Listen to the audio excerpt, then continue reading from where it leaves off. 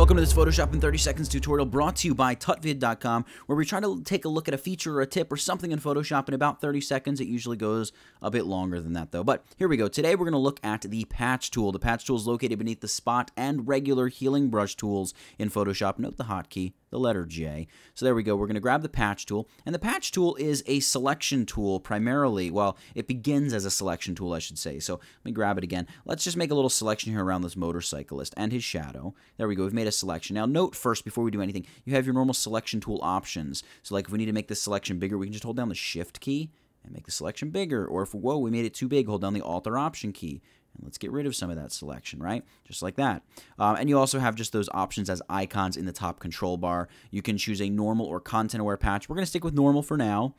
But the big thing we're going to mess with is source and destination. So source basically means you're taking what you have within the patch and you're going to get rid of it. So when we drag this, we're going to drag it over to another just blank area of road and it's going to copy the color and texture and it's going to get rid of the bike altogether. You see that?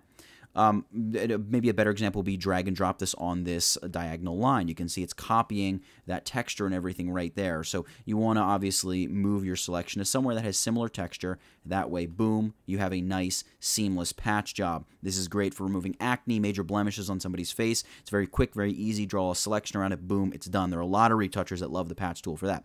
Something else you can do, however, is here with destination. Destination is cool because you're not getting rid of the object, Rather, you are duplicating the object. See this? We can put bikers all over the road, and it sort of takes and blends the edges in uh, as you go. So there we go, just like that. We've created, you know, what, six or eight of these bikers right here. So that's the patch tool in a nutshell. It's a really great tool for doing all kinds of things in Photoshop. It's amazing for getting rid of blemishes in photos, getting rid of something like an entire person standing on the sidewalk, maybe that you don't want there. Maybe you want to duplicate the foliage here and really make their make tons of trees and bushes and whatnot along the side of the road. Whatever. The patch tool is great. It's really, really powerful, um, and there's a lot of things you can do with it. I urge you to jump in and play around with it. There are some little finesse things you'll see when you get near edges You do have a little bit of blurring, but you'll learn to work with all of that the more you work with the patch tool itself. That's it.